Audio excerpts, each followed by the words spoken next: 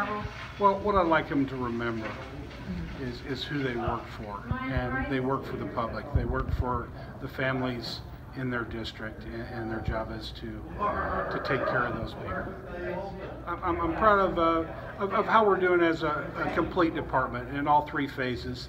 Our, our suppression rating, which is a class one, which puts us in the top half percent of fire departments in the country. Our EMS work, the, the I initiative, where we've raised uh, our cardiac saves up over 600%.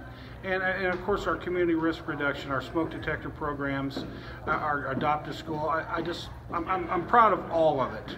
Uh, the department as a whole is, is doing a phenomenal job right now. So long. Oh, you know, I, I think they, they shouldn't worry that, that, that we're here and we're going to answer the call every time they call.